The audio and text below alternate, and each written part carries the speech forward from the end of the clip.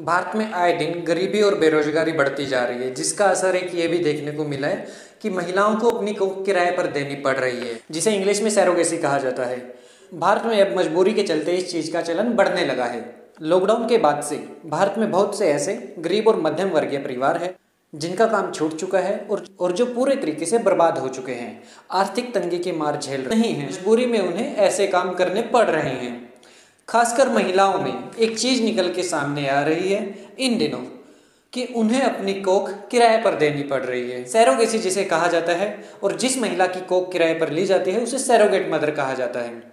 पहले हम सैरोगेट का मतलब समझते हैं। सैरोगेसी एक महिला और दंपति के बीच में एग्रीमेंट होता है, जिसके तहत महिला की कोख, यानी कि उनका पेट इस्तेमाल किया जाता है एक बच्चा पैदा करने के लिए। वीर्य का इस्तेमाल करके उनमें भ्रूण विकसित किया जाता है और बाद में बच्चा पैदा होने तक पूरा मेडिकल ट्रीटमेंट और सुविधाएँ दंपति की तरफ़ से दी जाती है।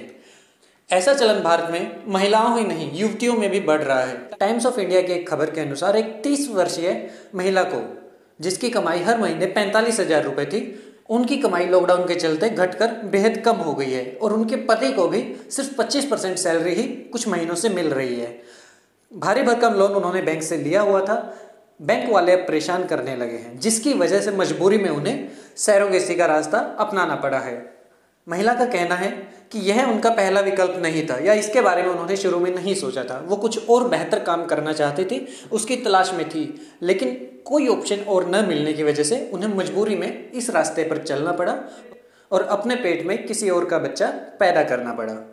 ऐसी ही खबरें गुजरात से लगातार सामने आ रही है, जिसमें ज़्यादातर महिलाएँ जो घरों में काम करती थी साफ़ सफ़ाई का काम, उनका काम बंद होने की वजह से आर्थिक रूप से बेहद कमज़ोर हो गई है। इसमें सिर्फ़ आम महिलाएँ ही शामिल नहीं हैं, विधवा, औरतें और युवतियाँ भी शामिल है। ऐसा ही एक मामला गुजरात के अहमदाबाद से निकल के सामने आया है, जिसमें कि तेईस वर्षीय युवती का काम छूटने की वजह से उन्हें ये रास्ता अपनाना पड़ा मजबूरी में। उनके पास काम का कोई और विकल्प नहीं था, काम उन्होंने ढूंढा पर उन्हें मिला नहीं। ऐसे में उनको किसी ने सैरोगेसी की सलाह दी और उन्होंने इसे स्वीकार कर लिया। पिछले कुछ वक्त में गुजरात से ऐसे बीस से ज़्यादा मामले सामने आ चुके हैं, जहाँ पर युवती या महिला को मजबूरी में ऐसा काम करना पड़ा है। पहले भारत में ये मामले बहुत कम सामने आते थे, लेकिन जब से लॉकडाउन लगा है, तब से। न सिर्फ़ गरीब परिवार की महिलाएँ या युवतियों को ये रास्ता अपनाना पड़ रहा है, बल्कि मध्यम वर्ग जो पचास साठ हज़ार रुपये महीना कमा लेते थे, जिनका लॉकडाउन की वजह से काम बंद हो गया, उनको भी मजबूरी में ये रास्ता अपनाना पड़ रहा है।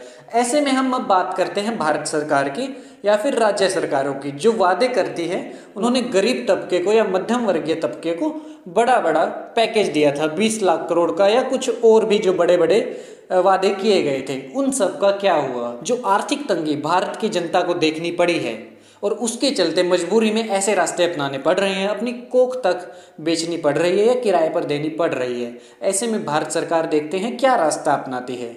वो इन महिलाओं को परेशान करती है या फिर उनके लिए बेहतर रोज़गार की व्यवस्था उपलब्ध कर